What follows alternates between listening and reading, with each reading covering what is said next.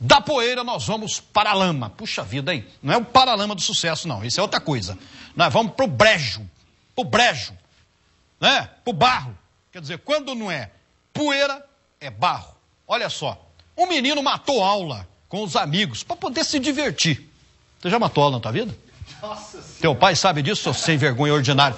Teu, você já matou aula na vida? Teu pai não sabe disso? Como é que chama teu pai? Soldada lá, soldada não sabe disso. Você já matou aula?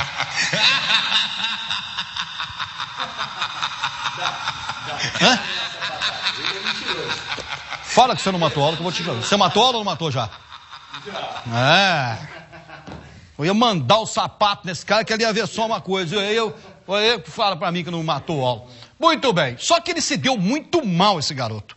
Os pais ficaram sabendo porque o rapaz ficou literalmente atolado na lama. Ou seja, ele matou a aula, foi para o lugar e. caiu no brejo. Literalmente. O cara azarado. Balança aí. Olha para você ver que situação que você não vai acreditar. Balança. Ô, filho, como que você caiu aí? Ah, não lembro não. Foi em Guarulhos, região do Parque do Tietê, na Grande São Paulo. O rapaz de 16 anos matou a aula com os amigos, diz que se perdeu do grupo e acabou caindo no meio de um lamaçal. Tá desde que hora aí? Ah, não tenho noção não, senhor. Tava na luz do dia? Eu cheguei, era luz do dia.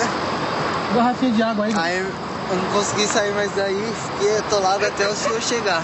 Os bombeiros tiveram dificuldade para encontrar o adolescente. Foi o segurança de uma obra que ouviu os gritos de socorro. O rapaz teve que ser puxado com cordas amarradas à cintura. Foi uma hora de trabalho até que o jovem fosse resgatado.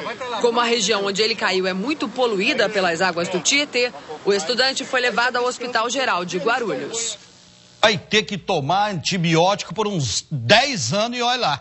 E ser monitorado ainda. Olha o que, que a coisa errada dá. Hã? É, olha a coisa errada que isso dá. Olha a coisa errada. Atolou, literalmente ele se atolou na lama do Tietê, um dos rios, infelizmente, infelizmente, mais poluídos aí do Brasil, né? O, a parte do, do Tietê, do Rio Tietê. Olha só, rapaz, vai ter que tomar antibiótico o resto da vida. Ele atolou literalmente no brejo. Foi matar a aula, foi passar por um local. E o brejo, quanto mais você mexe, mais vai afundando. É, fica agarrado lá, faz uma sucção no caboclo, sabe? sabe?